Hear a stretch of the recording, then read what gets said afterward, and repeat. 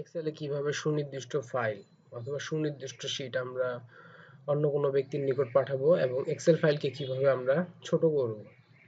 So এটা খুব গুরুত্বপূর্ণ একটা কৌশল। এটা আপনার চাকরি জীবনে খুবই কাজে লাগবে এবং এটা যদি আপনি না যদি জানেন, তাহলে এটা আপনার চাকরি জীবনে অনেক বড় একটা সমস্যার সৃষ্টি করবে। যেমন দেখুন আমি এই ফাইলটি ওপেন করছি। সো দেখুন এটা হচ্ছে আমার একটা মেইন ফাইল সো এখানে আমার অনেকগুলো শীট রয়েছে। একটা ফাইলের ভিতরে অনেক গুরুত্বপূর্ণ তথ্যের অনেকগুলো শীট রয়েছে। সো আপনারা যদি একটু লক্ষ্য যদি করেন, এখানে collection file due statement sheet one sheet two এরকম আছে। ওকে সো এখানে কিন্তু অনেক গুরুত্বপূর্ণ তথ্য থাকে বা গোপনীয় তথ্য থাকে। সো অনেক ক্ষেত্রে আমরা কি করি? পুরো ফাইলটিকে পাঠিয়ে দিই। সো পুরো ফাইলটিকে পাঠিয়ে দিলে কিন্তু আপনার যত গোপনীয় তথ্য আছে সেগুলো তার কাছে চলে যাবে।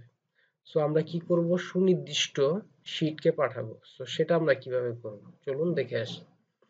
সো এর জন্য আমাদের যেটা করতে হবে, এই দেখেন কালেকশন ফাইলে আমি সিলেক্ট করলাম। তারপরে আমরা যেটা যাব, সেটা হচ্ছে গিয়ে মুভ অর কপি আপনারা যদি একটু লক্ষ্য যদি করেন কালেকশন ফাইলে আমি ক্লিক করলাম, আমার কালেকশন শীটটা আমি পাঠাবো ওকে সো আমি ডান বাটনে ক্লিক করলাম ওকে ডান বাটনে ক্লিক করার পরে দেখেন মুভ অর কপি একটা অপশন আসছে। মুভ অর কপিতে আমি ক্লিক করব। মুভ কপিতে ক্লিক করার পরে উপরের দিকে দেখবেন একটা বাটন আছে, এই যে দেখেন মান্থ অফ সেপ্টেম্বর ওকে এখান থেকে আমি নিউ বুক নিউ বুক এই অপশনটি সিলেক্ট করব। এরপরে ক্রিয়েট এ কপি এখানে একটা ক্লিক করব ওকে তারপরে আমরা ওকে বাটনে ক্লিক করব। সো দেখেন এটা নতুন একটা, এই শীটটি নতুন একটা ফাইল সৃষ্টি করে আছে। এখন আমি এখানে যদি পাঠাই তাহলে আমার কোনো কনফিডেন্সিয়াল তথ্য সেই লোকটির কাছে যাবে না।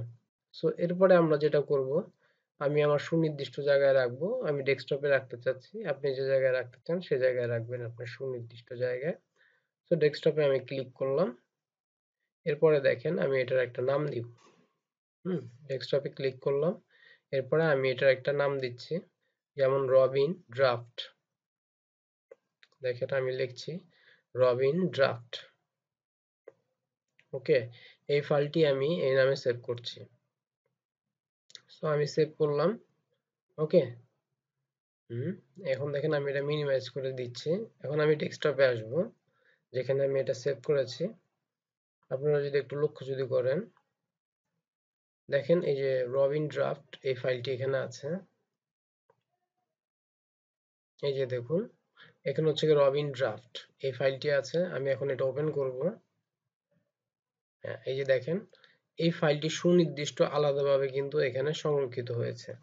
অর্থাৎ আমি এখন সুনির্দিষ্টভাবে এই শীটটিকে সেই লোকটির কাছে পাঠাতে পারব এবং এখানে আমার কোনো গোপনীয় তথ্য তার কাছে আর যাবে না।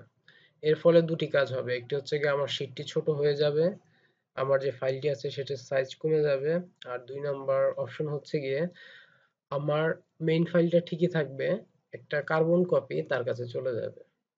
তো সেক্ষেত্রে যেটা করতে হবে সেক্ষেত্রে যে জিনিসটা হবে যে আমার গোপনীয় তথ্যগুলো আর তার কাছে যাবে না। এটা কিন্তু একটা অফিসের অনেক গুরুত্বপূর্ণ একটা বিষয়।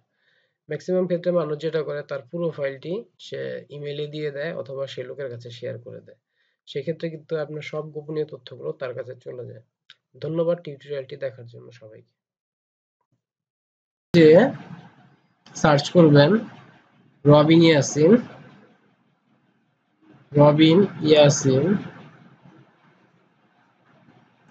এই নামে। দেখেন রবিনী আছেন এখানে ক্লিক করবেন। আমার যত ভিডিও আছে, সবগুলো ভিডিও আপনারা দেখতে পাবেন। এখানে ভিডিওতে ক্লিক করবেন, আমার যত ভিডিও আছে, এই পর্যন্ত যত টিউটোরিয়াল আমি আপলোড করেছি, সবগুলো আপনারা দেখতে পাবেন।